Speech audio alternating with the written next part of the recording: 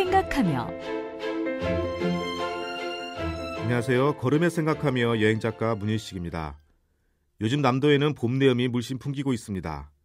전남 광양의 섬진강변에는 매화의 하얀 물결이 아름답고 구례의 지리산 자락에는 진한 노란색을 품은 산수유가 지천으로 피고 있습니다. 오늘은 산수유를 만나러 전남 구례로 가볼까 합니다.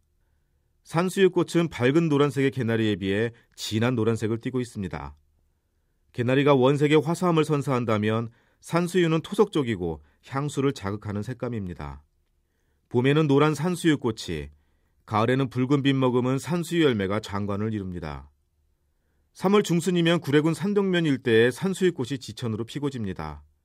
우리나라 산수유 생산량의 70% 이상이 이곳 산동면에서 재배된다고 하니 명실상부한 산수유의 고장이라 해도 과언이 아닙니다. 산동면이라는 지명 역시 산수유와 깊은 관계가 있는데요. 천년 전쯤 중국 산둥성의 처녀가 이곳으로 시집 올 때 가져왔던 묘목을 심었다는 전설이 남아 있습니다. 또한 중국의 산동 역시 산수의 주산지인데다 묘하게도 개척마을에는 수령이 천년쯤 되는 산수의 시목이 남아 있습니다.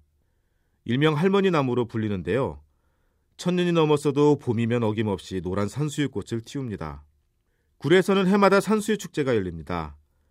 축제장이 위치한 지리산 온천랜드를 중심으로 반곡마을과 상위마을, 개척마을과 현천마을이 산수유를 만끽할 수 있는 마을로 잘 알려져 있습니다.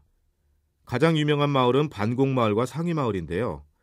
축제장과 가장 가까운 곳으로 정령치와 성삼재로 이어지는 지리산 능선 가운데 만복대 아래 자리 잡은 마을입니다. 반곡마을의 대음과 대양은 계곡을 끼고 산수유가 군락을 이루고 있어 빼어난 경관으로는 으뜸입니다. 그래서 사진가나 화가들이 많이 찾는 곳이기도 합니다. 반곡마을에서 지리산을 바라고 더 올라가면 바로 상위마을입니다. 상위마을은 최대의 산수유 군락을 자랑하는 곳이고 지대가 높아 계곡을 끼고 산수유의 장관을 내려다보기 좋을 뿐 아니라 마을의 돌담길도 산수유와 어울려 아름다움을 뽐내고 있습니다. 또한 남원으로 가는 19번 국도에서 만나는 두 마을, 산수유 시목이 남아있는 개척마을과 저수지의 반영이 아름다운 현천마을도 산수유 꽃이 기다리고 있습니다. 산수유 축제는 오는 22일부터 29일까지 구례군 산동면 일대에서 열립니다.